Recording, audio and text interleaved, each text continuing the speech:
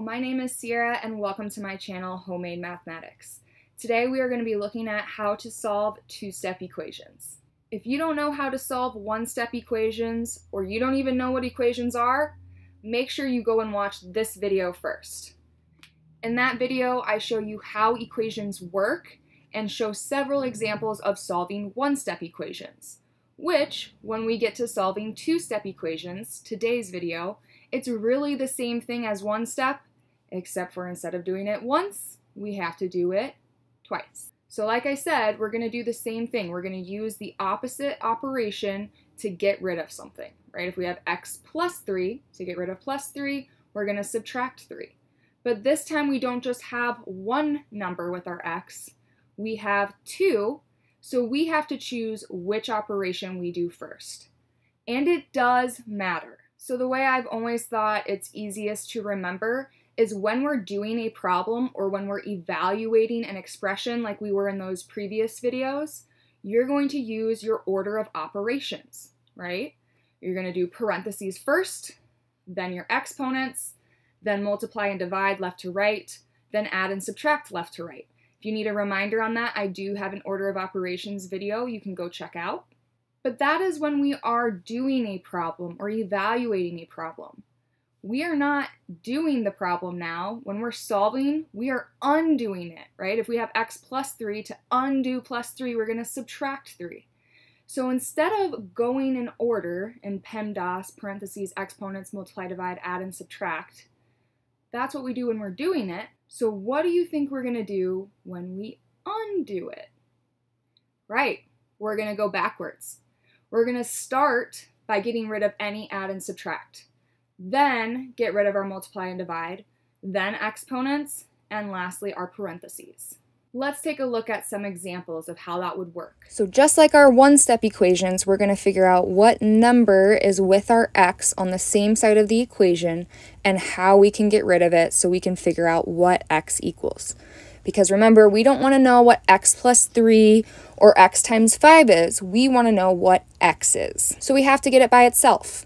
Right? You'll notice in this first equation, we have x, and this time on the same side of the equation, right, that line there is separating the left side of our equation from the right side of the equation, right? The equal sign splits those up.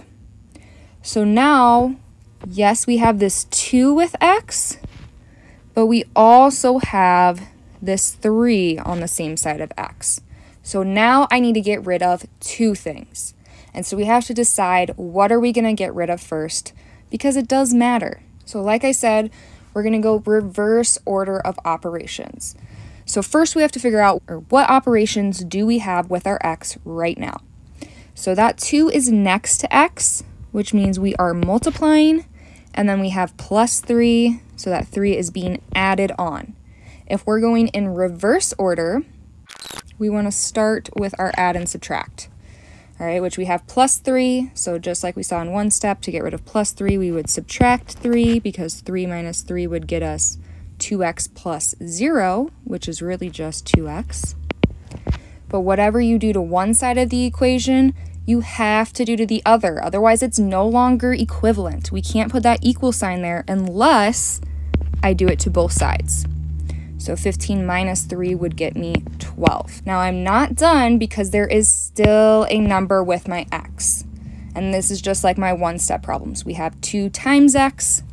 So to get rid of times, we're going to divide by 2. 2 divided by 2 would get me 1x, which is the same thing as just x.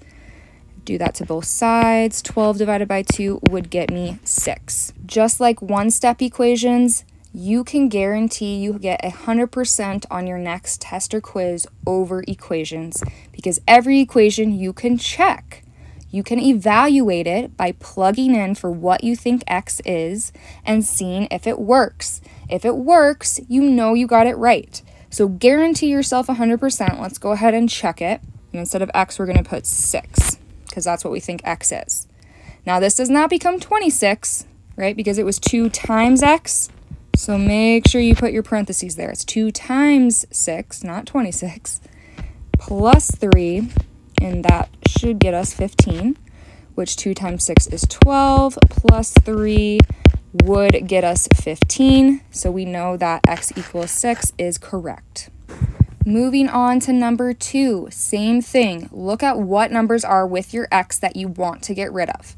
So we have 4 and we have a negative 5 or minus 5. Same thing. All right, so we have this fraction bar here, which we should know means the same thing as divide. And then we have minus 5. So our 4 is dividing with our x, and our 5 is subtracting with our x. So again, we're going to start with our add and subtract. So to get rid of a negative 5 or minus 5, we are going to add 5. Right? But if we do that to the left side of our equation, we have to do that to the right side of our equation.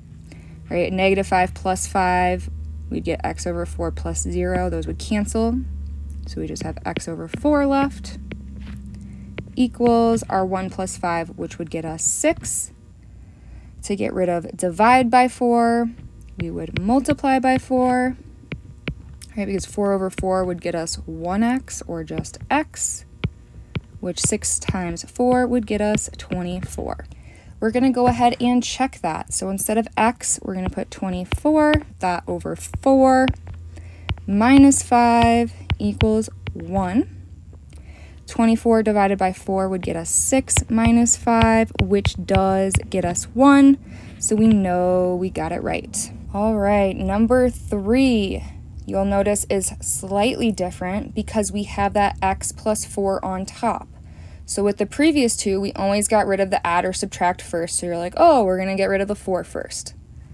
This one is different though, because you'll notice that 2 is not just under the x, it's under the x plus 4, meaning this x plus 4 is now grouped together. Which that's now not adding, that's actually parentheses, which you'll see, right, if we're going in reverse order, we're doing parentheses last, not first. All right, so we actually want to start with this divided by 2 first, right? Because fraction bar means divide by 2. Get rid of that 2 on the bottom, and then we just have the x plus 4 left grouped together. So how do we get rid of divide by 2? We multiply by 2 to both sides of my equation.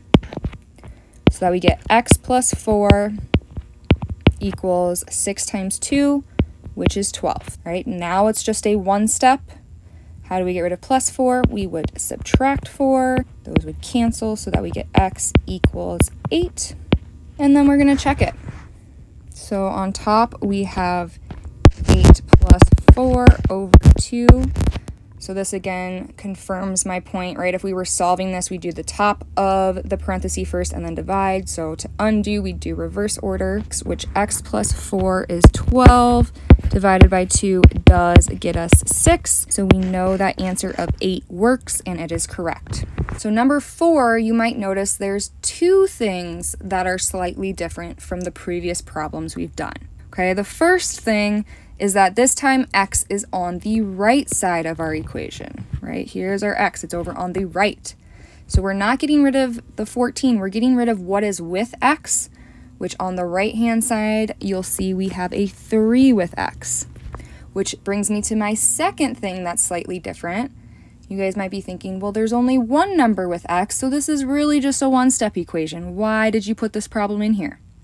But let me show you something. So that 3 there, that's a positive 3, right? There's no symbol in front of it, so we know it's a positive 3 minus x. Okay, that's not negative 3 minus x, that's a positive 3 minus x. So we want to get rid of that positive 3 first, right? We could even rewrite this as negative x plus 3, which how do we get rid of plus 3?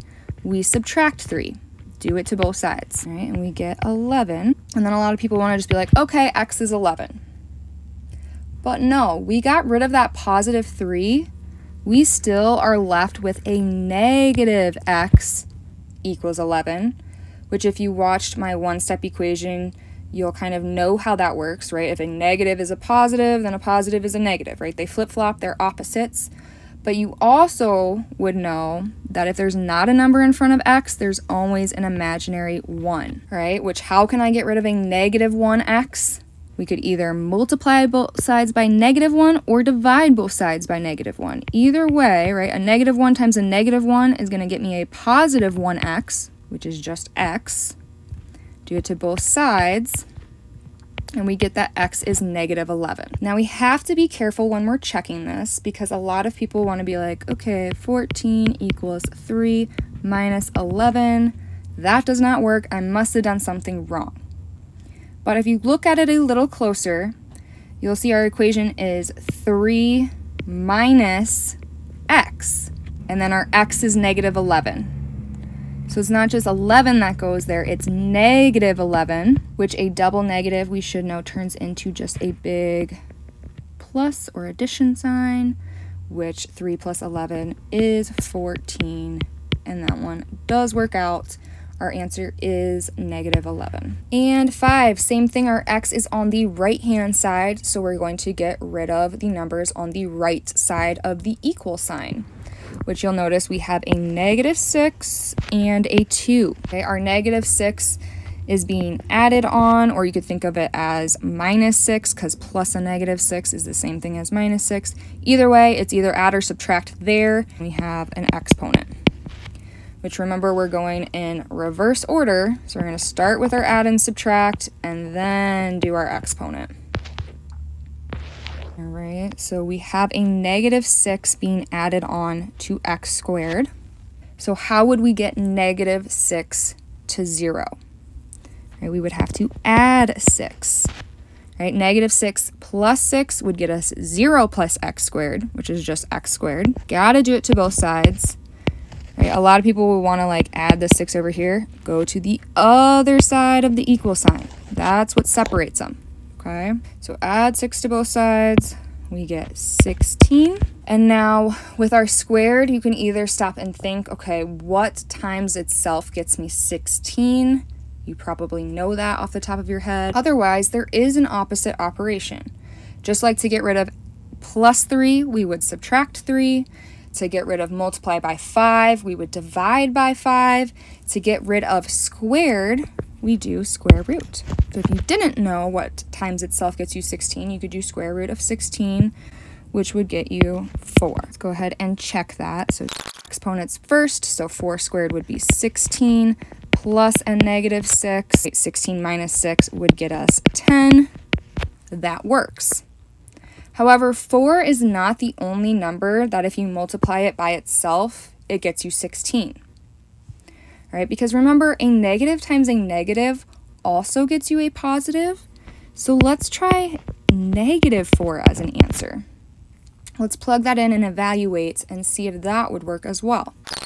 All right, we want our x squared, so negative 4 times negative 4 would get us a positive 16 plus negative 6 again, works out to get us 10. All right, so you'll notice the problems where you end with x squared equals something, you're actually going to have two answers because of the way that squared and negatives work, right? Positive 4 squared and negative 4 squared get you the same thing. And then our last one here, there's actually two different options you could do. So you could go ahead and distribute your 2 onto each and then just solve it like a normal two-step equation. Okay, but you could also look at it as x plus 5 and this thing outside, right? When we distribute, we're multiplying. So we're taking that whole x plus 5 times 2, right? Which how do we get rid of times 2? We would divide the whole thing by 2, do it to both sides, right? 2 over 2 would get me 1. So then I'm just left with x plus 5 equals 18 divided by 2, which is 9. Subtract our 5 from both sides to get that x equals 4. Now, if we would have distributed, let me show you how that would work. So 2 times x is 2x. 2 times 5 is 10. And we have that plus in between. Equals 18. And then just solve how we were before. Get rid of your plus or minus first we get 2x equals 8. Divide both sides by 2. And we get x equals 4. Notice both times we got 4. So it should be the right answer, but let's go ahead and check it. 2, then in parentheses our x, which we say is 4, plus 5 equals 18. 4 plus 5 would get us 9 times that 2 would get us 18. So 4 would be the correct answer. Can do it either way, whichever makes the most sense to you. All right, so notice in the first way we did it, we were looking at this x plus 5 as a grouping. Um, so that means that this would be parentheses, and we would do it last. Where when we went ahead and distributed it out, it was no longer grouped, so we could go ahead and get rid of it first. I hope this video was helpful for you. If it was, please give it a thumbs up. My next video is going to be on multi-step equations, so more than two steps. So make sure you subscribe so you don't miss that next one. And go ahead and comment down below what you would like to see next. I'm needing some ideas. Thanks for watching and I'll see you next time.